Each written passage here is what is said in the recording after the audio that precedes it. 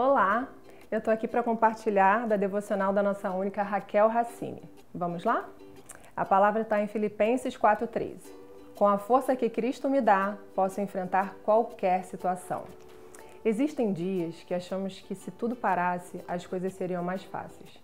Ou que se as condições para sermos fortes e estarmos em paz, seria que tudo se estabelecesse e resolvesse.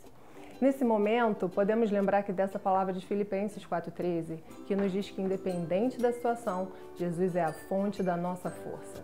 Então, não foque nas coisas que pode ou não fazer, mas coloque a esperança em Deus, porque assim como está escrito em Romanos 8, de 15 a 16, Ele é o nosso Pai e por isso nos dará vitória em todas as situações. Motivos para desanimarmos sempre vão existir, mas escolha colocar seus olhos e seu coração nele.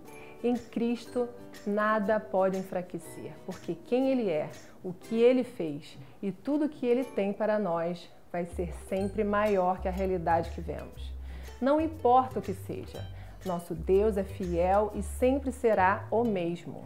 Essa é a garantia que podemos continuar firmes e vivendo em gratidão no nosso dia a dia. Jesus é o nosso lugar seguro e estável, onde encontramos a nossa confiança, descanso e força.